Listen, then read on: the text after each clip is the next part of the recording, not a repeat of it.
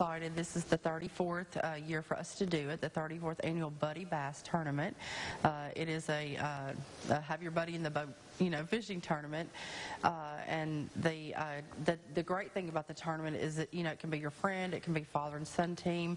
Father and son team actually won last year. Uh, Ryan and Ryland uh, Jackson out of El Dorado, Arkansas. So it's a good event. It's a community event. It's a large fundraiser for the chamber, and uh, we just like to, to, you know, for everybody to come down there and enjoy the fun.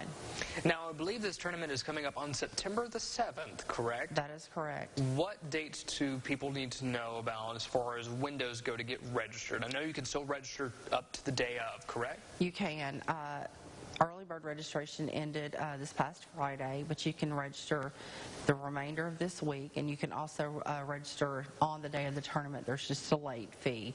It goes up in $20 increments. Uh, this week it's $20 higher than it was last week for early bird. But we welcome uh, the boaters.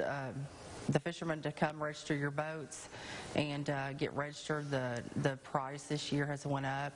It's based on 100 boats, but it's five thousand dollars cash And for the for the grand prize. What I was just about to say, even though that $20 extra may be, you know, something you might not be wanting to shell out, it's kind of worth it, right? Yes, it is. There we go. So you're paying a little bit of money up front, but you get to hang out with a buddy, You do. go out and fish for the day, and you may be winning some money. Yes. This uh, tournament was originally scheduled for June the 1st. Uh, it was a pre-qualifier for the Ronald McDonald uh, tournament, but the massive amount of water, the high levels of the water, uh, due to safety reasons, we were forced to move it until September. And so the water's good now. The temperatures are going to be good. It's going to be some good I fishing. know it seems like the perfect time of the year. Mandy, how can folks get in touch with you or the chamber in order to learn more? They can stop by the Crossett Chamber of Commerce, 101 West First Avenue in Crossett to register, uh, or you can call in 870-364-6591.